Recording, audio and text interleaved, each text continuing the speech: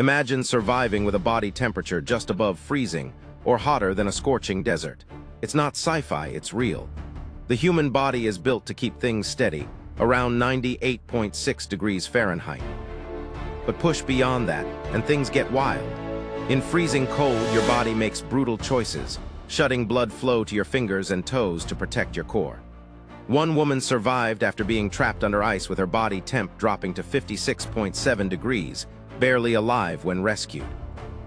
Doctors now use controlled body cooling for medical miracles, learned from cases like hers. Flip the script to extreme heat where humidity and dehydration are deadly, the worst. Wet bulb temperatures, when heat and humidity trap your sweat, making cooling impossible. At just 95 degrees wet bulb, survival's a race against time. One man's body hit 115 degrees and he lived, proof the human body can endure the unthinkable. What's the most extreme weather you've survived? Drop it in the comments below.